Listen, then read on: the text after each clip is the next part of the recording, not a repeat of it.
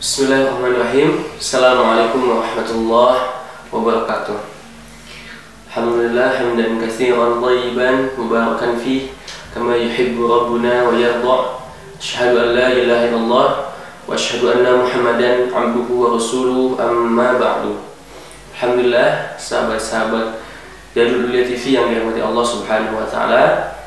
Bagaimana kabarnya? Alhamdulillah, mudah-mudahan dalam dalam keadaan sehat walafiat. Amin ya Allah ya rabbal alamin.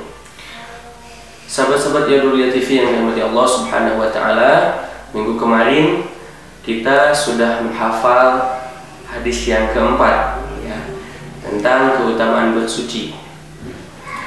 Baik, saya akan ulang hadis keempat sebelum nanti kita akan menambah satu hadis yaitu hadis yang kelima.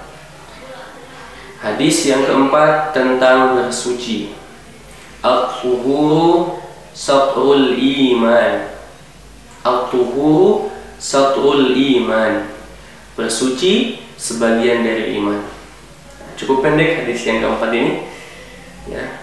Udah hafal semuanya? Masya Allah. Baik. Lanjut kita akan menghafal satu hadis ya ditambah yaitu hadis yang kelima ya hadis kelima keutamaan orang yang belajar Al-Quran. Hadis kelima keutamaan orang yang belajar Al-Quran. Khairukum man ta'allama al-Quran wa saya ulang.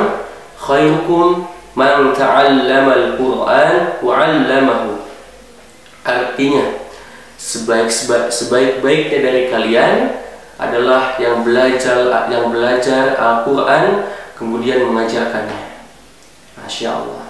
Hadis kelima ini tentang keutamaan yang belajar Al-Quran. Rasulullah khairukum man ta'allama Al-Quran wa 'allamahu. Sebaik-baik orang yang belajar Al-Quran kemudian yang mengajarkannya. Baik, mudah-mudahan hadis mulai dari hadis pertama sampai hadis yang kelima ini kita semuanya bisa menghafal dan mengamalkannya yang yang penting. Ya, terima kasih. Itu saja yang bisa disampaikan. Nasrullah wa fathun qarib wa basyirul mu'minin wa akhiru da'wana alhamdulillah. Assalamualaikum warahmatullahi wabarakatuh.